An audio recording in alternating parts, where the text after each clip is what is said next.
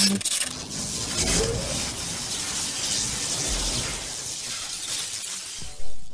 guys, selamat datang kembali di channel Selector ya. Di video kali ini kita masih membahas seputar HP Android lagi. Nah, yang saya pegang ini HP Xiaomi Redmi Note 9 Pro ya. Dan untuk cara ini khusus untuk HP Xiaomi, kemungkinan 90% HP Xiaomi bisa ya. Tetapi kalau untuk HP lain kemungkinan tidak bisa karena fiturnya ini hanya fitur MIUI yang saya tahu ya. Nah, kita bahas apa sih kali ini? Nah, kita bahas itu kita bisa apa ya? mendengarkan suara ini namanya di ketika layar mati kita bisa mendengarkan suara YouTube ketika layar mati seperti YouTube Premium ya tetapi kita tanpa mengaktifkan YouTube Premium Nah gimana sih caranya? Seperti biasa jangan lupa diklik like dulu video ini dan jangan lupa ditekan tombol subscribe-nya karena ke depannya kita masih banyak membahas seputar HP Android. Yang sudah saya ucapkan banyak-banyak terima kasih.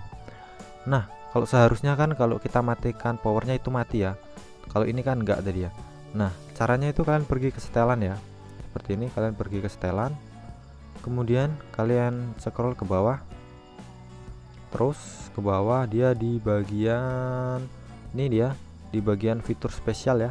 Ini kalian aktifkan, kalian klik ya. Kemudian kalian pilih kotak alat video ini.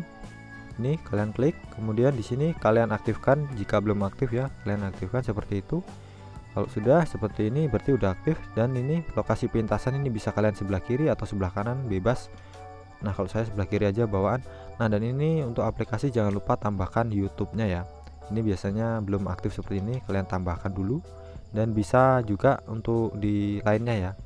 Contohnya di TikTok atau di apa ya, Instagram atau apalah ya. Nggak YouTube nggak cuman YouTube aja. Nah kalau sudah seperti ini caranya kalian ketika misalnya ini ya lagi mendengarkan musik dan kalian ingin matikan layar kalian kalau seharusnya seperti ini kan mati ya. Kalau kita langsung menekan tombol power nah gimana sih biar dia bisa suaranya terdengar? Nah kalian di sini ada garis ya strip di pojok kiri ini. Kalian geser seperti ini sampai muncul jendela seperti ini kalian klik yang bagian gambar telinga itu ya mendengarkan dengan layar mati. Nah walaupun layarnya mati dia tetap bisa ada suaranya dan tetap berjalan di latar belakang ya Nah dan saya rasa ya untuk video kali ini cukup sampai di sini ya. Semoga info ini bermanfaat bagi kalian semua dan saya akhiri wassalamualaikum warahmatullahi wabarakatuh.